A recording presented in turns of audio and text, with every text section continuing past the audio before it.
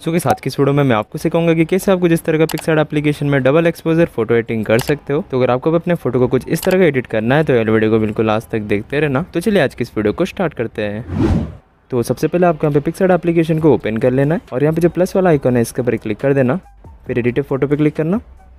और यहाँ पे जो बैकग्राउंड वाला ऑप्शन है, इसके ऊपर क्लिक कर देना। क्लिक करने के बाद आपको यहाँ पे जो व्हाइट कलर है, इसे सिलेक्ट कर लेना है। तो आपके सामने एक स्क्वायर शेप का व्हाइट कलर बैकग्राउंड आ जाएगा। नेक्स्ट में यहाँ पे इसे क्रॉप करेंगे इंस्टाग्राम साइज़ में। तो इसके लिए यहाँ पे टूल्स वाला ऑप्शन में जाएँगे। क्रॉप वाला ऑप्शन में जाएँगे। और यहाँ पे देख सकते हो पोर्ट्रेट का। इसको सिलेक्ट करके यहाँ से डन कर देना। तो आपका जो फ़ोटो इंस्टाग्राम पोर्ट्रेट के साइज़ में क्रॉप हो जाएगा। नेक्स्ट हमें अपने फ़ोटो को ऐड करना है तो इसके लिए हम यहाँ पे जाएँगे ऐड फ़ोटो वाला ऑप्शन पे। और यहाँ से अपने फ़ोटो को आपको ऐड कर लेना है। तो मैंने यहाँ पे अपने मॉडल की फ़ोटो को ऐड कर लिया और इस फ़ोटो के बैकग्राउंड को एक क्लिक में रिमूव करने के लिए आपके यहाँ पे जो रिमूव बीजी वाला ऑप्शन है, इसके ऊपर क्लिक करना है। और यहाँ पे जो रिमूव बैकग्राउंड है, इसे क्लिक करने से पहले आपको नेट को ऑन कर लेना है। और यहाँ पे क्लिक कर देना। तो आपको जो बैकग्राउंड है एक एक क्लिक में यहाँ पे रिमूव हो जाएगा। अगर रिमूव करते टाइम कुछ मिस्टेक हो जाता है तो एरेज वाला जो ऑप्शन है, इसके ऊपर जाना। और स्टोर और एरेज वाले टूल की मदद से आप इस तरह से कर सकते हो इसे। तो मेरा तो यहाँ पे परफेक्ट है, इसे मैं यहाँ पे कट कर लेता हूँ। जस्ट हम यहाँ पे इस तरफ़ इसे फ्लिप करेंगे। तो फ्लिप एंड रोटेट वाला ऑप्शन पे जाते हैं। और यहाँ पे जो थर्ड वाला ऑप्शन है, इसके ऊपर क्लिक कर देता हूँ। तो इस तरफ़ फ्लिप हो गया।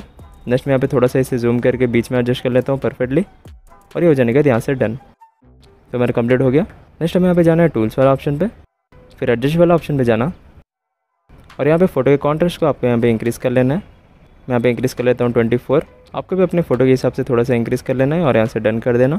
नेक्स्ट टाइम यहाँ पे फ़ोटो को ऐड करेंगे अपने बैकग्राउंड को। तो इसके लिए ऐड फ़ोटो पे जाते हैं।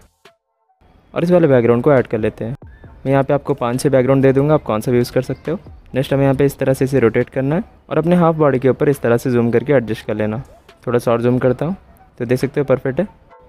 तो इसे परफेक्टली एडजस्ट करने के बाद आपका हमें जाना है ब्लेंड वाला ऑप्शन पे और ब्लेंड को आपका हमें कर लेना है स्क्रीन या फिर यहाँ पे कर लेना लाइटन जो आपको अच्छा लगे वो कर लेना मैं यहाँ पे लाइटन पे रखता हूँ लेकिन यहाँ पे एक प्रॉब्लम है इस तरह का एक लाइन आएगा देख सकते हो जो कि हमारा फ़ोटो बेकार कर दे रहा है तो इसे रिमूव करने के लिए पहले तो यहाँ पे क्लिक करते हैं फिर हम यहाँ पे थोड़ा सा स्वाइप करेंगे और एडजस्ट वाला ऑप्शन चलते हैं और यहाँ पे आपको फ़ोटो कॉन्ट्रास्ट को इंक्रीज़ कर लेना है मैं यहाँ पे रख लेता हूँ एट परसेंट के आसपास ब्राइटनेस को थोड़ा सा डिक्रीज़ करेंगे और यहाँ से डन नेक्स्ट हम यहाँ पे एरेज वाला जो ऑप्शन है इसके ऊपर जाएँगे हार्डनेस को कर लेंगे वन पे size seventy five opacity sixty five percent के आसपास रख लेना और जस्ट आपको साइड साइड से इस तरह से एरेस करना है। रफली एरेस करना है आपको। जैसे कि मैं यहाँ पे कर रहा हूँ, देख सकते हो, ये हो जाने के यहाँ से डन और यहाँ से भी डन तो देख सकते हो, अभी हमारे यहाँ पे रिमूव हो चुका है लाइन जो था। नेक्स्ट में पे जाएँगे इफ़ेक्ट वाला ऑप्शन पे और यहाँ पर जो इफेक्ट्स वाला ऑप्शन है, इसके ऊपर क्लिक करते हैं और बिल्कुल आपको यहाँ पे लास्ट वाला इफ़ेक्ट को अप्लाई कर लेना है, जिसका नाम यहाँ पे देख सकते हो विनेट इसके ऊपर क्लिक करना।